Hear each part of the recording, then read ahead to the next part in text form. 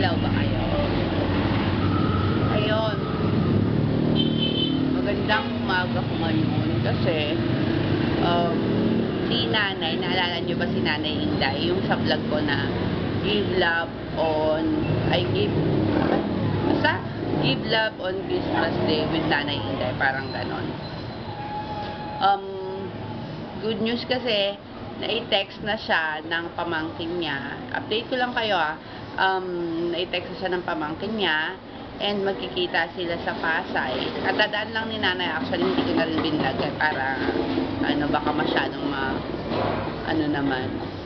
Um, yun. Magkikita sila sa Pasay, tapos, anong tawag dito?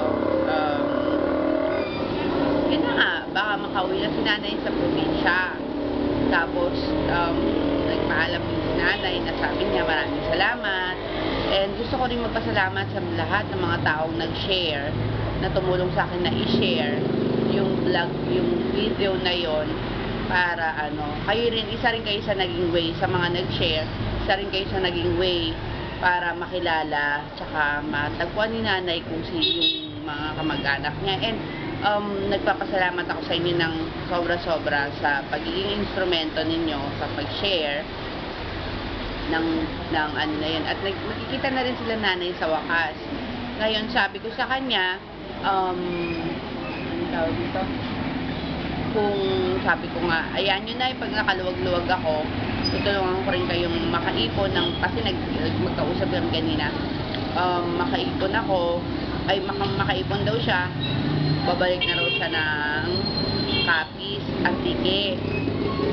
Ito, ayan mo ano, pag nakaluwag-luwag, ah, bibigyan kita na pang-ipon-ipon mo, sabi ko gano'n sa kanya. And yun, naanggan lang sa loob na nakita na ni nanay, magkikita na sila actually, uh, ng nahanap niya ng long lost sister niya. And yun nga, so, marami pong malam, marami pong maraming maraming maraming maraming salamat sa mga taong nag-share tungkol sa video na ginawa ko for nanay. And nalungkot nga ako kasi sabi ko natapos ang Pasko natapos ang New Year. Ito na magba-Valentine's Day na.